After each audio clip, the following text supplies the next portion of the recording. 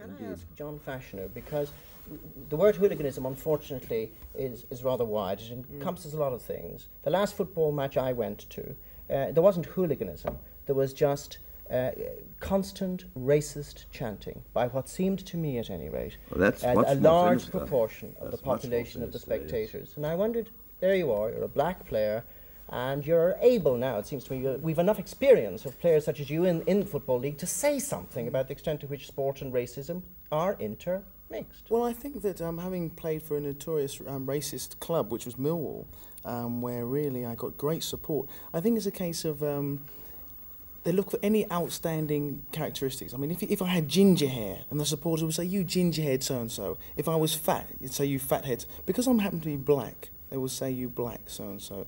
I mean, for sure, as Chris was saying, you're going to find a minority where there's a definite a lot of malice there, and they mean it there. But the majority of them, I mean, even the young children are saying, you black this, you black that. But there's no malice there.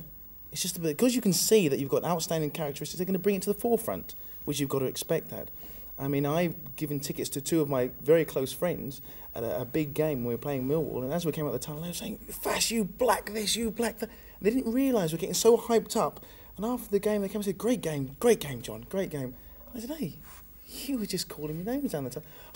didn't realise it. They didn't, because they were getting so hyped up with the game and everybody else was, they didn't, there was no malice there. I think it's actually being able to define the, what the, the, the mm. supporters who are actually the ones scream with malice and the ones who are just saying it and trying to bring put you off the off the game. I think that